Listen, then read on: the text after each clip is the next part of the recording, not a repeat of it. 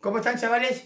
Bueno, vamos a ver un poquito el tema de las fuentes de laboratorio y cuál recomiendo yo y por qué comprar. Bien, la fuente con la que todos solemos empezar, bien, suele ser estas fuentecitas que son de 15 volt y 2 amperes, pero tienen o OCP activo.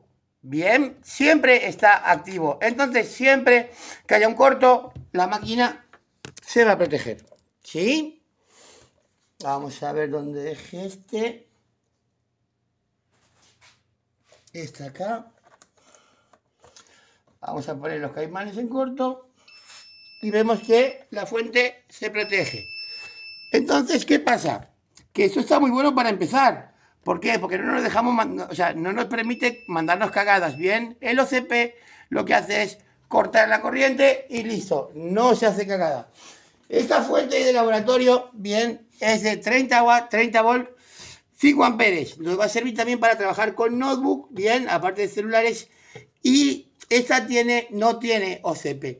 Yo lo que recomiendo es una fuente de estas, para empezar, que tenga el OCP para poderlo activar y desactivar. Sí, porque para empezar es mucho mejor empezar con OCP siempre activo.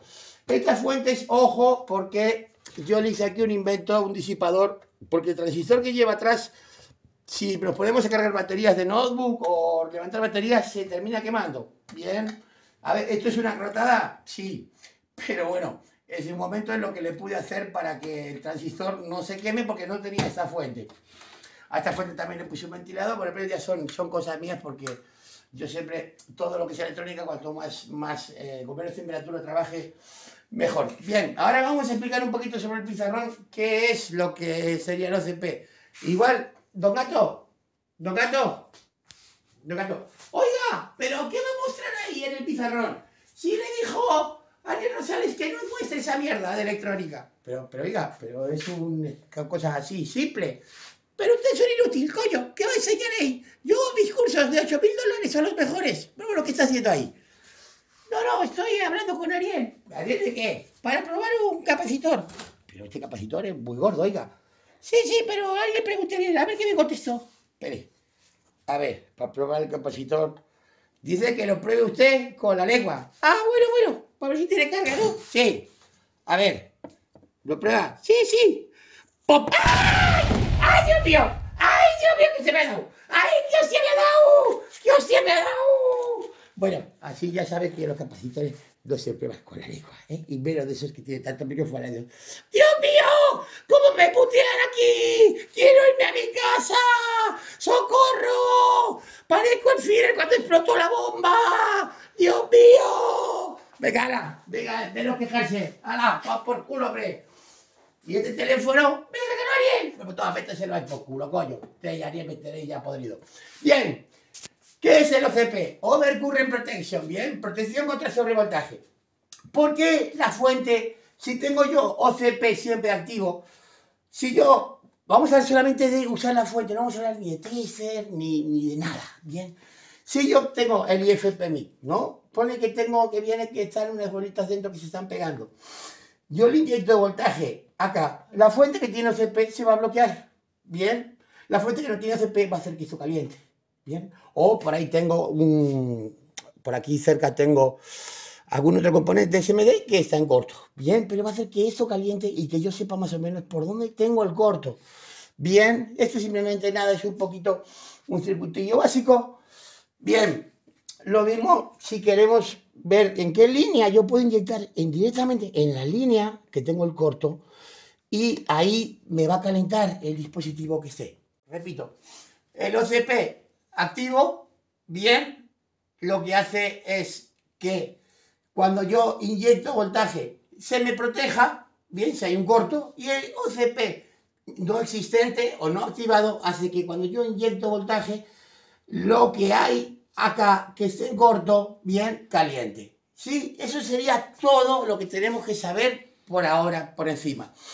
Bien, lo ideal son estas fuentes de 30 volt y 5 amperes con eh, OCP que lo puedo activar o desactivar. Bueno, voy a hacer una simplemente una prueba muy básica que es que tengo un teléfono que está completamente en corto y voy a inyectarle primero voltaje con la fuente que se protege y van a ver que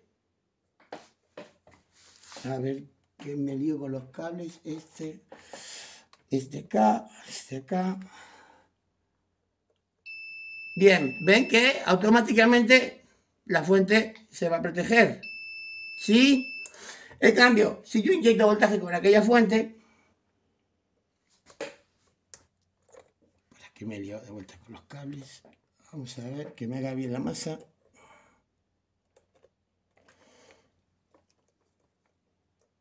ven que se genera un consumo.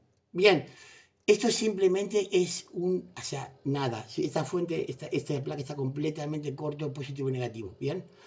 Pero esto a la hora de pasarlo al pizarrón, bien, nos va a permitir inyectar corriente en diferentes puntos de la placa para detectar cortos. Bien, entonces, eh, ¿qué es lo mejor?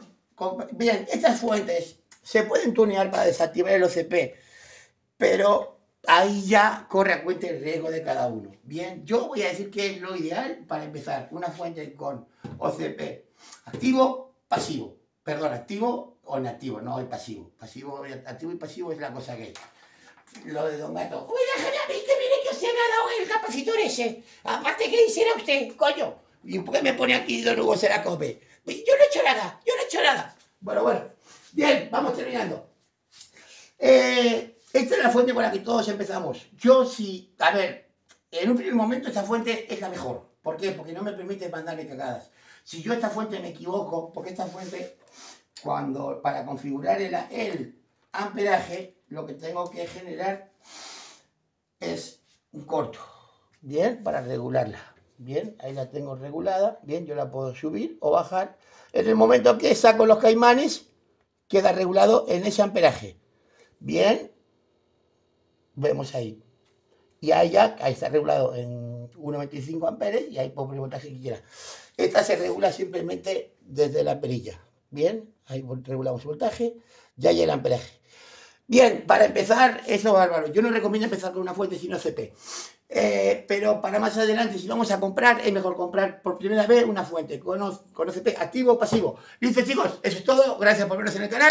Espero les haya servido. Chao, chao, chao, chao. Chao, chao, chao, chavales. Chao, que os del capacitor. Chau, chau.